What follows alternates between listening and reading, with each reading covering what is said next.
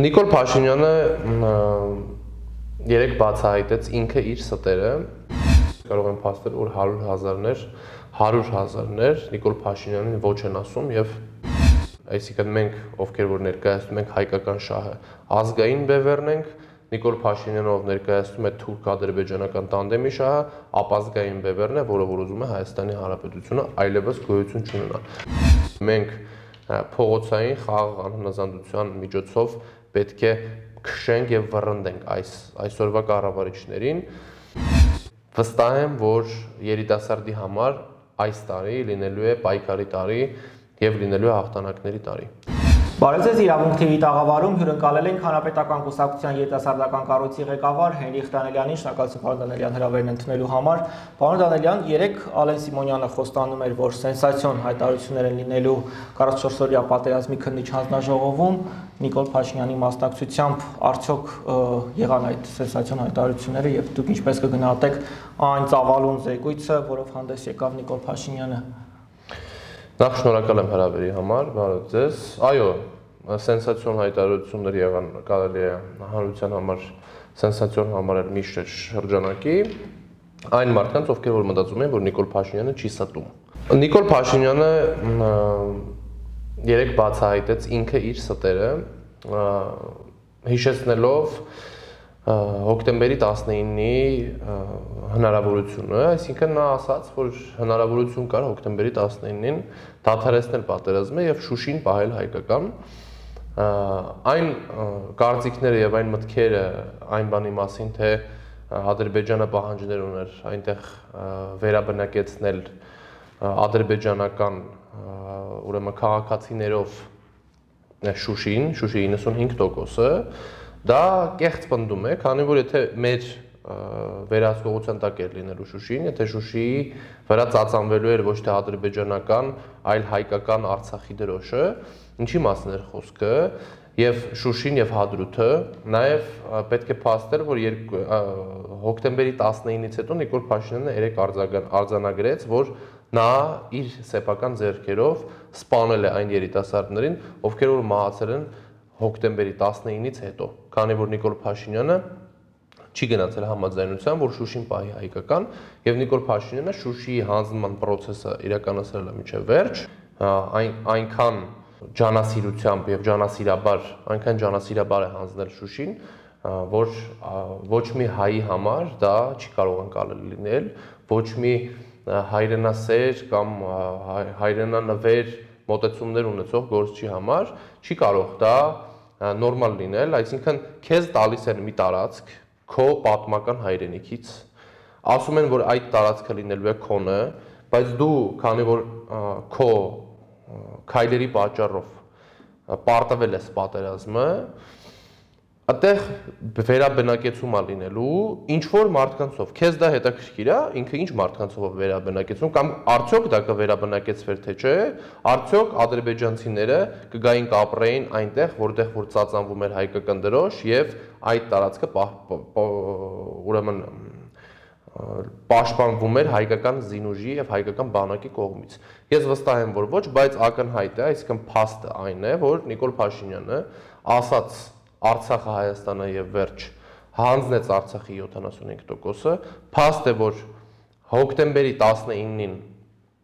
նա հնարավորություն է ունեցել ավելի լավ պայմաններով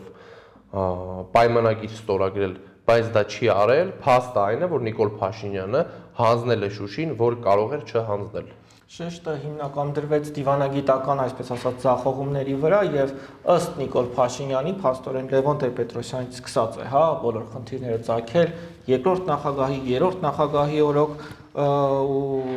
նա ասում է, որ Արցախը Ադրբեջանի մասին ճանաչել այս մարդիկ, ես մեղավոր չեմ։ Շատ լավ։ Ես ուզում եմ մեր հանրությանը հիշեցնել բորելի այն խոսքը, որ ասում է, որ Հայաստանի Հանրապետության նորանկախ պատմության մեջ միակ ղեկավարը, ով ճանաչել է Արցախի ադրբեջանական լինելը, դա Նիկոլ Փաշինյանն է։ Դա ասել է Ջոզեֆ Բորելը, ով եվրոպական արտաքին քաղաքականության պատասխանատուն է ընդհանուր առմամբ, եւ պետք է հստակ մենք հասկանանք, որ շատ սխալ է համեմատականներ անցկացնել, որովհետեւ երրորդ նախագահ Սերժ Սարգսյանը Շուշին ազատագրել է, Նիկոլ Փաշինյանը հանձնել է։ Երրորդ նախագահ Սերժ Սարգսյանը Պուտինի եւ Ալիևի դեմ ասում էր, որ Արցախը երբեք չի լինելու Ադրբեջանի կազմում եւ Արցախի ժողովուրդը պետք է ինքնորոշվելու իրավունք ունենա եւ Արցախը հայկական է։ Նիկոլ Փաշինյանը Պուտինի եւ Ալիևի առաջ ասում է, որ Արցախը ադրբեջանական է։ Սերժ Սարգսյանը ազատագրել է, Նիկոլ Փաշինյանը հանձնել է։ Այսինքն ակնհայտ է եւ նախքին կառավար նախքին 3 նախագաները, այսինքն Լևոն Տեր-Պետրոսյանը, Ռոբերտ Քոչարյանը եւ Սերժ Սարգսյանը ոչ մեկ որևիցե մի անգամ չի ասել, որ Արցախը համարում է Ադրբեջանի մաս։ Դրա մասին ասել է միայն Նիկոլ Փաշինյանը եւ Նիկոլ Փաշինյանը ասելուց բացի քայլեր է ձեռնարկում, որ վերջնականապես հանձնի։ Ես ուզում եմ հիշեցնել, որ Սերժ Սարգսյանը 1993 թվականից ի վեր ասում եւ անում է ամեն ինչ, որ Արցախը լինի հայկական, Սերժ Սարգսյանը կանգնած է Հայաստանի Հանրապետության եւ Արցախի բանակի ստեղծման ակունքներում եւ նա իր ընկերների, իր մարտական ընկերների հետ միասին ոչ միայն ազատագրել է Արցախը, ոչ միայն պաշտպանել է Հայաստանի Հանրապետությունը, այլ նաև հնարավորություն է ստեղծել միջազգային ասպարեզում, որպեսի Արցախը լինի ճանաչելի այլ պետությունների համար, որպես առանձին մաս, որպես առանձին պետություն, որպես հայկական ժողովուրդ, որը որ ինքնորոշվելու իրավունք ունի եւ միջազգային հանրության շրջանակներում արդեն իսկ անկալելի էր դարել այն փաստը, որ Արցախը երբեք չի եղել անկախ Ադրբեջանի մաս, Արցախը միշտ եղել է հայկական Եվ դրա վկայությունը եւ փաստը այն է, որ 2016 թվականի հոկտեմբեր ամսին Իլհամ Ալիևը իր հարցազրույցում ասում էր, որ ինձ ստիպում են միջազգային հանրությունը ինձ ստիպում է ճանաչել Արցախի անկախությունը փակ դռների ետևում։ Պարոն Դանելյան, անուն արդարության համաձայն եք, որ ոչ մադրիդյան սկզբունքները, ոչ Կազանի փաստաթուղթը հաստատ շարքային քաղաքացին ոչ կարդալու է, ոչ մանրանալու է, ոչ էլ ինչ որ կոնկրետ կետերի վրա, հա, հիմնվի։ Հետևաբար Նիկոլ Փաշինյանի այսքան խորը շեշտադրումը ինչ նպատակ ուներ եւ արդյոք մահարության հիշողության մեջ չի մնալու միայն այն, որ ահա նախկիններն էին փաստորեն հանձնել Նիկոլ Փաշինյանը անմեղ է։ Պետք է մենք հիշենք ամեն ինչ եւ թույլ չտանք Նիկոլ Փաշինյանը մանիպուլյացիաների ենթարկի ժողովրդին եւ պետք է հիշեցնենք, որ մինչեւ 2018 թվականի իշխանազավթումը մեր երկիրը ապրում էր խաղաղ պայմաններում, այսինքն շարքային գյուղացին, շարքային քաղաքացին չէր մտածում ոնց պետք է կարողանա ինքնապաշտպանվի, եթե թուրքը սկսի կրակել իր վրա շարքային մարդը, ով որ բիզնեսով էր զբաղվում եւ կարող ենք բերել հիմա այդ մետալուրգիական գործարանի օրինակը, որը որ երասխի ճանապարհի կողքը սարքվում է, որ օրեր շարունակ արդեն կրակ կրակ են բացում ադրբեջանցիները այդ գործարանի վրա եւ նրանք ոչ ինչ չեն կարողանում անել մարդիկ հիշում են այսինքն Նիկոլ Փաշինյանի սատերը էլ ոչ մեկին պետք չի Նիկոլ Փաշինյանը խափեփա է այսինքն նա խափում է մարդկանց։ Նա ասում է, որ նրա այսօրվա խաղաղության օրակարգը համապատասխանում է նրան, թե ինքը ինչպես խափեց ասեց, որ ես կգամ եւ արագաչափերը կհանեմ, դուք ունենաք ավելի լավ ապագա եւ այլն եւ այլն։ Այսօր մենք տեսնում ենք Նիկոլ Փաշինյանի երեկվա խոստացած ապագան։ Այսինքն տեսնում ենք Ադրբեջանը ոնց է քայլեր ձեռնարկում, որ Նիկոլ Փաշինյանը վերջնական Արցախը հանձնի եւ թղթի վրա ստորագրի, ճանաչի Արցախը Ադրբեջանի մաս, եւ ես վստահեցնում եմ, որ մարդիկ հասկանում են, որ նախկինում նախկին ղեկավարությունը, նախկին երկիրը առաջնորդող ուժերը քայլեր են ձեռնարկել, որպեսզի Հայաստանի Հանրապետությունը լինի սուվերեն, որբիսի Արցախը մնա հայկական։ Այսինքն դա մեզ համար եղել է կարմիր եւ ոչ մի պարագայում ոչ մի օր դուք չեք կարող հիշել 2008-ից 2018 թվականը, որ Հայաստանի Հանրապետության սուվերեն տարածքում լինի ադրբեջանական զինուժ։ Ոչ մի անգամ մենք չենք կարող հիշել 2008-2018 թվականների ժամանակահատվածում, որ մենք ունենանք ինչ որ ադրբեջանական զինուժի ներկայացում Հայաստանում։ Այսինքն Հայաստանի Հանրապետության մասին Ադրբեջանը անգամ երազել չէր կարող։ Շուշիի մասին Ադրբեջանը անգամ երազել չէր կարող։ Իսկ Նիկոլ Փաշինյանը, որ ասում էր ապագա կա, կա ապագա, նա փաստորեն խոսում էր Ադրբեջանի մասին, ոչ թե Հայաստանի, որովհետև նա իրականացնում է Ադրբեջանի երազանքը,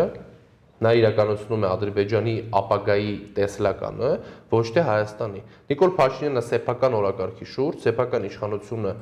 ամրապնդելու եւ պահպանելու հնարավորություններից օգտվելով միջազգային հանրության Թուրքիայի եւ Ադրբեջանի հետ պայմանավորվածությունները պայմանավորվածությունները ձեռք բերում, օրինակ Արցախը վերջնականապես հանձնելու, օրինակ ճանապարհներ տալու, օրինակ Սյունիքի հատվածում միջանցք բացելու եւ այլն, եւ նա փաստորեն ժողովրդին իրազ եկել է եւ ասել է, որ ինչ ուզեմ դա է բանակցելու եմ։ Գուցե ժամանակն է նաեւ որ օրինակ Օնիկ Գասպարյանը խոսի, որովհետեւ Նիկոլ Փաշինյանը ըստ էության ասում է, որ Արցախի նախագահի ու գլխավոր շտաբի, այսպես ասած, զեկույցները չէին համընկնում, բայց նույն հաջողությամբ տեղյակ լինելով ամեն ինչից նոյեմբերի 9-ին գրում է, որ Շուշիի համար մարտերը շարունակվում են։ Ի վերջո ով է խაფել նրանցից, հա, Օնիկ Գասպարյան թե Նիկոլ Փաշինյան, գուցե սա անհրաժեշտ է, որ հանրության առաջ ճշմարտությունը հնչի։ Ես վստահ եմ, որ մեր հանրությունը, մեր հասարակությունը տեսանելի ապագայում մանրամասների կծանոթանա եւ ամեն ինչ բարձ կլինի եւ այն մարդիկ ովքեր փորձում են Հայաստանի Հանրապետությունը թրքացնեն այն մարդիկ ովքեր փորձում են Հայաստանի Հանրապետությունը սարքել թրքական վիլայետ ովքեր որ այնպես են անում, որ Թուրքի յաթաղանը նորից մտնի Հայաստան, ես վստահ եմ, որ նրանք շուտով կհայտնվեն ճաղերի ետևում եւ պատմության աղբանոցում որպես քաղաքական ուժեր իդեմս Նիկոլ Փաշինյանի եւ քաղաքացիական պայմանագիր կուսակցության, որովհետեւ նրանք ստի եւ խափեության կեղծիքի եւ անարժան պահվածքի սերմ են սերմանել եւ այդ սերմը իրանք շուտով սկսելու են քաղել, որովհետեւ մեր հասարակությունը եւ հայ ազգը ընդհանուր առմամբ արժանապատիվ ժողովուրդ է եւ մենք դարերի վեր գոյություն ենք ունեցել եւ գոյաբանական պայքար ենք մղել գոյաբանության համար եւ մենք շարունակելու ենք մղել այդ պայքարը, մենք չենք հանձնվելու եւ չենք լռելու եւ այն 2018 թվականի խափեությունը, այն պոպուլիստական զինանոցի կիրառման արդյունքում ստեղծված իրավիճակը, որ մենք տեսել ենք, դա բացահայտվելու է եւ Նիկոլ Փաշինյանը եւ իր տերերը պատասխան են տալու հայ ժողովրդին այս օրը գցելու համար։ Պարոն Դանելյան, 2020-ից հետո էլ կար վստահություն, որ այս իշխանության վերջը եկել է ու տեսանք, որ արդեն փաստորեն 3 տարի է իրենք կան եւ դեռ շարունակում են քաղաքական ռեպրեսիաներ, հա, իրականացնել։ Արմեն Աշոտյանը կալանավորված է ու դեռ նույնիսկ որոշումը մինչև այս փաստաբանը չունի, հա, թե ինչ է կատարվում, որտեղից այդ դրական, այսպես ասած, հույսերը, որ այս անգամ հաջողելու է ընդդիմությունը։ Ուզում եմ վստահեցնել, որ սրանք հույսեր չեն, սրանք հստակ գործողությունների եւ նպատակների հերթականության տեսլական են իմ ասածները, այսինքն մենք պլանավորում ենք եւ քայլեր ենք ձեռնարկում մարզերում եւ Երևանում հանդիպումներ ենք իրականացնում Արցախը երբեք չի լինելու Ադրբեջանի կազմում ստորագրահավաքի շրջանակներում, կուսակցության շրջանակներում եւ անկուսակցական քաղաքացիների հետ հանդիպումների շրջանակներում եւ մենք շփվում ենք մարդկանց հետ եւ այսօր ես կարող եմ փաստել որ 100 հազարներ 100 հազարներ Նիկոլ Փաշինյանին ոչ են ասում եւ ստորագրում են ոչ միայն որ Արցախը հայկական մնա, այլ որ Նիկոլ Փաշինյանին ասեն ոչ։ Եվ ես վստահ եմ, որ նաև այդ ամեն ինչը մենք կտեսնենք քաղաքական հարթակում եւ ես վստահ եմ, որ մենք կտեսնենք նաև այն քայլերը, որոնք որ կընձեռնեն եւ կձևավորվեն ընդդիմադիր դաշտի ներկայացուցիչների կողմից, թեև ես կարծում եմ, որ այսօր Հայաստանի Հանրապետությունում ոչ թե կարելի է կոչել գործիչներին ընդդիմադիր, այլ կարելի է գործիչներին կոչել ազգային եւ ապազգային։ Այսինքն մենք, ովքեր որ ներկայացնում ենք հայկական շահը, ազգային բևեռն ենք, Նիկոլ Փաշինյանով ներկայացնում է թուրք-ադրբեջանական տանդեմի շահը, ապազգային բևեռն է, որը որ ուզում է Հայաստանի Հանրապետությունը այլևս գոյություն չունենա։ Նիկոլ Փաշինյանի իշխանության մնալը Հայաստանի Հանրապետության չգոյությունն է։ Եվ մենք պետք է քայլեր ձեռնարկենք հստակ հաշվարկված, ոչ թե ուղակի փողոցային պայքար սկսենք չիմանալով մենք ուր ենք գնում, այլ հստակ հաշվարկված, հստակ բալանսավորված քաղաքականություն եւ ճանապարհային քարտեզ ֆիքսենք եւ այդ ֆիքսած ճանապարհային քարտեզով գնանք առաջ եւ ես ուզում եմ վստահեցնել որ այսօր եւս այդ ճանապարհային քարտեզի հետ կապված մենք քայլեր ենք ձեռնարկում այսօր չի կարելի ասել որ ընդդիմությունը պայքար չի մղում որովհետեւ մենք այսօր փողոցում ենք ամեն դեպքում թեկուս пассив պայքարի մեջ ենք բայց մենք փողոցում ենք կա ստորագրահավաքի վրաններ եւ մենք առաջնահերթ շփվում ենք ժողովրդի հետ որովհետեւ այստեղ պետք է լինի ազգային ուժեր ժողովուրդ կոնսոլիդացիա ընդդեմ Նիկոլ Փաշինյանի։ Դրա, այսպես ասած, փորձերը մի քանի անգամ տեսանք, պարոն Դանելյան։ Այսօր էլ Հայկ Մամիջանյանը, հա, պատիվ ունեմ խմբակցության ղեկավարն ասում էր, որ շուտով խորհրդանական ընդդիմությունը ծավալելու է փողոցային պայքար։ Ինչ է պետք, որ այս անգամ ընդդիմությունը չձախողվի։ Նախ ես ուզում եմ մեր հասարակությանը լինեմ ամբողջությամբ ազնիվ եւ ասեմ, որ Քանի որ Նիկոլ Փաշինյանը աշխարհակաղակական ռևերանսներ իրականացնելու վարպետ է, այսինքն նա շատ հանգիստ կարող է ի վնաս Հայաստանի Հանրապետության ի օգուտ այլ ինչ որ պետության որոշումներ կայացնի իր իշխանությունը պահելու համար, շատ անգամներ մենք ես կարծում եմ տեսել ենք եւ բախվել ենք այդ ուժերի հետ, որոնք որ Նիկոլ Փաշինյանին պահել են, որոնք որ Նիկոլ Փաշինյանը սատարել են, որոնք որ լուր են մնացել Նիկոլ Փաշինյանի վայրագությունների Նիկոլ Փաշինյանի բռնաճնշումների, Նիկոլ Փաշինյանի այդ բռնի բռնի անելու, ով որ խոսում է իր դեմ ձերբակալելու եւ կալոնավորելու, ովքեր որ փորձել են պահել Նիկոլ Փաշինյանի իշխանությունը, որպիսի իրենց սեփական շահը սпасարկի Նիկոլ Փաշինյանը, իսկ Նիկոլ Փաշինյանը փաստորեն համաձայնությունը տվել եւ ասում է, որ ես կճանաչեմ Արցախի ադրբեջանական լինելը։ Մենք կարող ենք հիշել, որ հայրենիքի փրկության շարժման ժամանակ, երբ որ գենշտաբի ներկայացուցիչները անդեմ Նիկոլ Փաշինյանի գործընթաց սկսեցինք, մենք կարող ենք հիշել Թուրքիայի արձագանքը։ Մենք կարող ենք հիշել, որ բայց հետո էլ այդ գեներալները գնացել պատիվ էին տալիս Նիկոլ Փաշինյանին։ Այո, դա այլ հարց է, դա այլ հարց է, բայց ուզում եմ ասեմ, որ Նիկոլ Փաշինյանը կարող ենք փաստել, որ քայլերի մեջ ներգրավվածություն ունեն այլ ուժեր Նիկոլ Փաշինյանը որ ասում է 5-րդ շարասյուն ես վստահ եմ որ այդ 5-րդ շարասյունները մենք բացահայտելու ենք երբ որ իշխանապողություն լինի եւ մենք կիմանանք արդեն 5-րդ շարասյան ներկայացուցիչները ովքեր են արդյոք Իլհամ Ալիևը երբ որ ասում էր ես 2018 թվականի իշխանապողության մեջ իմ ներդրումն եմ ունեցել այսօրվա падգամավորների մեջ քաղաքացիական պայմանագիր կուսակցությամբ կամ падգամավորներ կա որ ադրբեջանական խավիարային դոլարների արդյունքում են հայտնվել այնտեղ թե ոչ։ Մենք այդ ամեն ինչը կբացահայտենք եւ երբ որ պարոն Մամիջանյանը ասում է որ մենք քաղաքական գործընթաց ենք սկսելու եւ փողոցով պետք է լինի, այո, մենք փողոցային խաղ անհնազանդության միջոցով պետք է քշենք եւ վռնդենք այս այսօրվա կառավարիչներին ժողովրդի հետ միասնական ճակատ ձևավորելով, այսինքն մեզ պետք է ձևավորել հստակ ազգային ուժեր, ժողովուրդ կոնսոլիդացիա, որի արդյունքում կձևավորվի այն հնարավորությունը, որը մենք կօգտագործենք Նիկոլ Փաշինյանին հերացնելու համար եւ ես վստահ եմ որ տեսանելի ապագայում մեր հասարակությունը հնարավորություն կունենա մասնակից լինել ազգի փրկությանը միտված քայլերին։ Պարոն Դանելյան, մեր հարցազրույցից ժամեր առաջ հա երեք նախագահների գրասենյակներից արձագանքներ արդեն իսկ եղան Նիկոլ Փաշինյանի զեկույցի վերաբերյալ ըստ էության բոլորի հիմնական ասվածի առանցքում հենց այն էր որ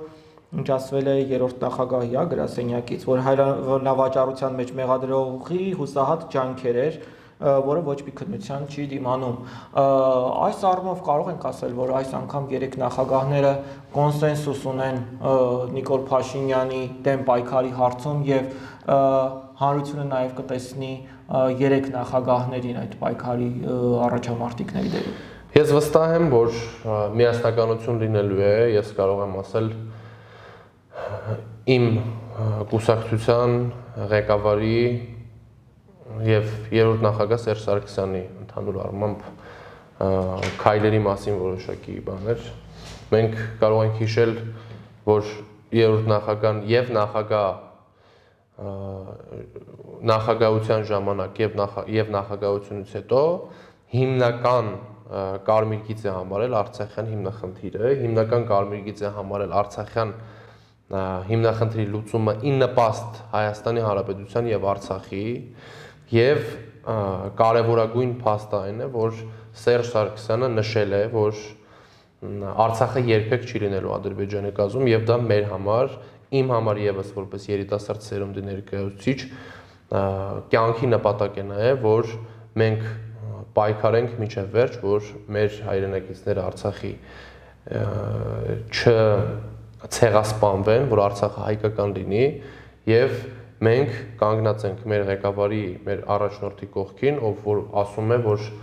երբեք չի լքելու այն խրամատը, որը որ պահում է հայոց պետականությունը եւ Սերժ Սարգսյանը այդ խրամատում հաղթել է Թուրքին, Սերժ Սարգսյանը այդ խրամատում հաղթել է Հեյդար Ալիևին, Սերժ Սարգսյանը այդ խրամատում հաղթել է Իլհամ Ալիևին եւ ես վստահ եմ, որ Սերժ Սարգսյանը այդ խրամատում կհաղթի նաեւ Նիկոլ Փաշինյանին։ Պարոն Դանիելյան, երկու օր է, հա, 3 այսօր Արցախից կոչեր, հորդորներ, հայտարարություններ կան, որ ոչ սնունդ է մտնում, ոչ տեղորայք է մտնում եւ ըստ էության հումանիտար աղետը լիակատար է Արցախում։ Սակայն Երևանի փողոցներում դեռ արշալույսները խաղաղ են։ Սա ցես չի մտահոգում, որ հանրությունը դեռ այսպես ասած իրավիճակին չի տիրապետում։ Ես ընդհանուր առմամբ դեմ եմ հանրությանը եւ ժողովրդին մեղադրելու այդ գործընթացից, որ ինչ որ մարդկանց մոտ ինչ որ բան չի ստացվում, ասում են ժողովուրդն է մեղավոր անտարբեր են եւ այլն, ժողովուրդը անտարբեր չի։ Ժողովուրդը շատ լավ հասկանում է ինչա կատարվում, բայց մենք չենք կարող պահանջել այն մայրիկից, ով իր երեխայի հետ գնում է զբոսանքի եւ պաղպաղակ է գնում իր երեխայի համար, մենք չենք կարող պահանջել, որ նրանք լացի եւ լացի մտնոլորտի մեջ լինեն ամեն օր, այն պատճառով, որ մեր երկիրը ծայրահեղ ցաներ իրավիճակում է։ Մենք կարող ենք պայքար պայքարի ժամանակահատվածում խնդրել եւ պահանջել բոլոր հայրենատեր քաղաքացիներին դուրս գալ փողոց եւ մասնակցել պայքարին, որը որ հստակ տեսլական կունենա, հստակ ճանապարհային քարտեզ կունենա, բայց այսօր մեղադրել մարդկանց, որ նրանք ապրում են իրենց կյանքով, ես ճիշտ չեմ համարում։ Այ երբ որ մենք դուրս կգանք փողոց, դուք կտեսնեք այդ մարդկանց, ովքեր որ իրենց առօրյա կյանքով զբաղվում են, իրենց միասնականությունը, դուք կտեսնեք այդ մարդկանց խոսքը եւ այդ խոսքի մեջ նաեւ կարեւորագույն դեր են ունենալու երիտասարդները, ովքեր որ չեն պլանավորում եւ չեն պատկերացնում իրենց կյանքը արդ երկրում եւ պատկերացնում են Հայաստանի Հանրապետությունում, շենացված Հայաստանի Հանրապետությունում եւ Հայաստան, Արցախ, Սփյուռք երամիասնականության մեջ մենք ունենալու ենք հաղթանակներ եւ վստահ եմ, որ երիտասարդի համար այս տարի լինելու է պայքարի տարի եւ լինելու է հաղթանակների տարի արդյոք առավելագույնն է արվում քաղբանտարկյալների համար նկատի ունեմ Արմեն Աշոտյան, Գրիգորի Խաչատուրով, այո, մենք տեսանք դատական գործընթացների ժամանակ մարդիկ հավաքվում էին դատարանի առջև, հիմա ստորագրահավաք է շարունակում, ընդ որում մարդիկ են ստորագրում, ովքեր 2018 թվականին նույն Արմեն Աշոտյանին էին մերժում։ Ինչ կասեք արդյունքների եւ քաղբանտարկյալների համար պայքարի մասին, պարոն Դանելյան, արդյոք արվում է հնարավոր ամեն ինչ։ Նախ ուզում եմ Հարությանը տեղեկացնեմ Արմեն Աշոտյանի քրեական գործի մեջ չկա քրեական տար, կա քաղաքական բովանդակություն, կա քաղաքական հետապնդում, կա Նիկոլ Փաշինյանի անձնական մոտիվներով հիմնված մոտիվների հիմքով ստեղծված շինցու քրեական գործ, Ինչու են ձերբակալել Արմեն Աշոտյանին, ինչու են կալանավորել Արմեն Աշոտյանին, քանի որ Արմեն Աշոտյանը խոսում էր Արցախի հայկական լինելու Հայաստանի Հանրապետության հետագա գոյության, Հայաստանի Հանրապետության հայկական տեսլականի մասին եւ այդ խոսքերը եւ այդ պնդումները Նիկոլ Փաշինյանի համար անընդունելի են։ Նիկոլ Փաշինյանը չի կարողանում լսել, չի կարողանում ընկալել այն մարդկանց, ովքեր ունեն հայկական օրակարգ, այն մարդկանց, ովքեր որ չեն ուզում տեսնել Արցախ Ադրբեջանում, Ադրբեջանի մասի բրև եւ Արմեն Աշոտյանը բարձրաձայնում էր եւ խոսում էր այդ ուղությունների մասին, ունենալով այնքան գիտելիքներ, որոնց որոնք թույլ էին տալիս նրան մանրամասն բացատրել ժողովրդին ավելի հանրամատչելի այն ինֆորմացիան, որ դուք նշեցիք բանակցային գործընթացի մասին տարբեր ժամանակահատվածներում բանակցային գործընթացի որոշումների մասին Արմեն Աշոտյանը դրանք հանրությանը մատուցում էր հանրամատչելի լեզվով, հանրամատչելի կերպով եւ ժողովուրդը հասկանում էր Նիկոլ Փաշինյանի ստերի եւ կեղծիքի մասին ամեն ինչ։ Նրանք մինչև կալանավորելը եւ ձերբակալելը ընդհանուր առմամբ պարոն Աշոտյանին արդեն իսկ չէին թույլ տալիս, որ Արմեն Աշոտյանը դուրս գնար արտերկիր եւ ներկայացներ Հայաստանի Հանրապետությունը եւ Արցախի շուրջ ստեղծված իրավիճակը, այդ սեղմվող օղակը, որ մենք հայտնվել ենք այդ օղակի մեջ, ես վստահ եմ, որ մենք ունենալու ենք արդ, արդարություն եւ արդարությունը հաղթելու է եւ ուզում եմ նշել, որ Արմեն Աշոտյանին չեն կարող լրացնել կամ վախեցնել որովհետև չեն կարող լրացնել այնքանով, որ Աշոտյան Արմենը այսօր չի խոսում, նրա փոխարեն խոսում ենք մենք, նրա փոխարեն խոսում են 100 հազարավոր այն մարդիկ, ովքեր որ գալիս ստորագրում են Նիկոլ Փաշինյանի դեմ, նրան սատարում են այսօր մարդիկ, այո, ովքեր ցավոք սրտի 2018 թվականին խապվել են Նիկոլ Փաշինյանի կողմից։ Ես այդ մարդկանց չեմ մեղադրում, այդ մարդիկ մեր քույրեր ու եղբայրներ են, ովքեր որ ուզեցել են ավելի լավ ապագա, ուզեցել են ավելի լավ Հայաստան, բայց խապվել են Նիկոլ Փաշինյանի ձեռամբ ակամայից իշխանազավթման process-ի մեջ են մասնակցել եւ ակամայից այս իրավիճակում իրենք իրենց այո մեղավոր են համարում, որովհետև նրանք խապվել են, բայց այսօր նրանք հնարավորություն ունեն իրենց քայլերով եւ իրենց խոսքով քայլեր ձեռնարկեն, որպիսի Նիկոլ Փաշինյանը հեռանա եւ նաեւ Արմեն Աշոտյանին սատարելով ես վստահ եմ, որ դա այդ քայլերից մեկն է, որ մեր հասարակությունը այսօր այդ քայլերին գնում է, որովհետև արդեն հարյուրավոր անվանի բժիշկներ, անվանի գործիչներ, քաղաքական գործիչներ, հասարակական գործիչներ Արմեն Աշոտյանի համար ստորագրահավաքին մասնակցություն ունեն եւ ներդրում ունեն իրենց, որպիսի Արմեն Աշոտյանը հանրային ընկալման մեջ նաեւ հասկացվի, որ նա քաղբանդարկյալ է երեք նաև EPP-ի падգամավորների падգամավոր մեր գործընկերները անդրադարձան Արմեն Աշոտյանի քաղբանտարկյալ լինելու հնարավորությանը եւ կոչ արեցին արդարադատության ճիշտ շրջանակներում քննել գործը։ Եվ ես ուզում եմ վստահեցնել, որ այդտեղ չկա քրեական տար, այդտեղ կա քաղաքական բովանդակություն, քաղաքական բաղադրիչ, քանի որ Արմեն Աշոտյանը շատ էր խանգարում Նիկոլ Փաշինյանին։ Հիմա կարող ենք խոսալ այն բանի մասին, թե ինչու է ինչու է Նիկոլ Փաշինյանը այսօր գնում այդպիսի կտրուկ քայլերի, ինչու ինչից է բխում Նիկոլ Փաշինյանի վախերը։ Ես վստահ եմ, որ Նիկոլ Փաշինյանը պլանավորում է երկրորդ կապիտուլյացիան։ Ես կարծում եմ, որ Նիկոլ Փաշինյանը նոր քայլերի է պլանավորում գնալ եւ նա փորձում է սեղմել օղակը այն մարդկանց շուրջ, ովքեր որ կարող են նրան խանգարել, բայց նաև հասարակությանը ուզում եմ ասել մեր, որ մենք չենք լռելու Նիկոլ Փաշինյանին հերացնելու մեր մոտիվները պարոն Աշոտյանին կալանավորելով ավելի են մեծացել եւ մենք ինչ պլանավորում էինք անենք 3, պլանավորում ենք անենք նաեւ այսօր։ Պարոն Դանելյան, դուք լավ կհիշեք, որ 2021 թվականին, երբ էլի դուք պայքարի առաջնագծում էիք, որոշ քաղաքական ուժեր ամենաթեժ պահին որոշեցին, որ գնան ընտրության։ Եվ հիմա էլ Երևանի ավականու ընտրություններն են արժևում։ Արդյոք մտավախություն չունեք, որ պայքարի կեսից խրամատ լքողներ եւ ընտրությունների գնացողներ են լինելու։ Մենք դեռ մեր համագումարին նախագահ Սերժ Սարգսյանը ասաց, որ մենք քաղաքական դաշտում մենք ունենք 100% ամբիցիա Հայաստանի Հանրապետության գոյության հարցում Եվ մենք կոչ ենք արել, որպեսի մարդիկ իրենց ամբիցիաները դնեն մի կողմ եւ շարժվեն միայն պետականամետ մոտեցումների ամբիցիաներով, միայն հայանպաստ որոշումներ կայացնելու ամբիցիաներով, այսինքն մենք կոչ ենք արել եւ կոչ ենք անում լինել միասնական, լինել հայկական օրակարգի շահառու եւ հայկական օրակարգի ճանապարհային քարտեզի քայլերի մեջ լինել միասնական։ Եվ ես կարծում եմ, որ այս անգամ միասնականությունը կհաղթի Չարին, այսինքն Նիկոլ Փաշինյանին։ Իհարկե հնարավոր հնարավոր են ինչ որ խմորումներ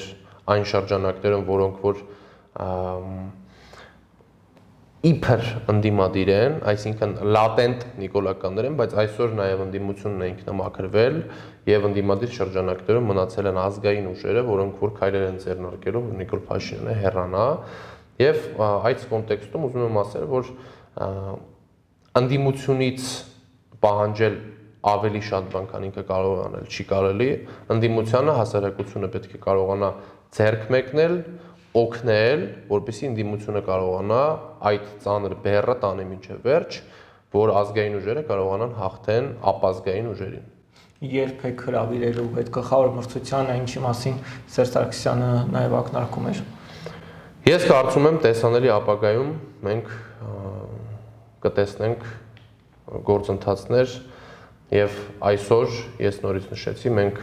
пассив պայքարի մեջ ենք, բայց այդ пассив պայքարը շատ կարեւոր է, որովհետեւ այդ пассив պայքարի կարևորագույն քայլը, կարևորագույն ուրեմն ուղղությունը այն է, որ մենք շփվում ենք 100 հազարավոր մեր քաղաքացիների հետ, նորից եմ կրկնում, ոչ թե սոցհարցումներով, ոչ թե Facebook-յան արտակով, այլ ուղիղ մենք շփվում ենք այդ մարդկանց հետ եւ այդ մարդիկ ստորագրում են ոչ միայն Արցախի հայկական լինելու համար, այլ նաեւ Նիկոլ Փաշինյանին վռնդելու եւ Նիկոլ Փաշինյանի հետ անհամաձայնության ունենալու համար։ Շնորհակալ եմ հետաքրքրության համար։ Ես եմ շնորհակալ։